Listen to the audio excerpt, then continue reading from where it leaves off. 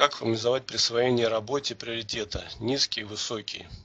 Ну, здесь, опять-таки, целая тема там у нас однодневного семинара, который называется «Надежность». То есть есть проблема, да, то есть есть критичность оборудования, то есть какой-то насос опять, да, допустим, ваш, который стоит на позиции. То есть если он станет, то потеря, соответственно, насоса – это потеря какого-то там производства. То есть продукт замерзнет или там засохнет, или что-то с ним произойдет. А с другой стороны, есть работы.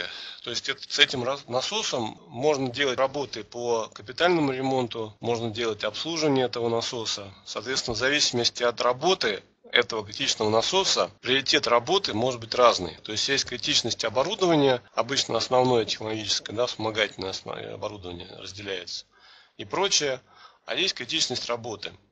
Вот определить приоритет работы задача именно планировщика, который, зная состояние оборудования, зная дату последнего выполнения обслуживания ремонта, присваивает приоритет ну, субъективность, она, пока вы не имеете диагностики, она всегда будет. То есть, как бы, единственный вариант избежать, это послать туда диагноста, который прибором ткнет подшипники и температуру по мере двигателя и скажет планировщику, в каком состоянии находится сейчас насос.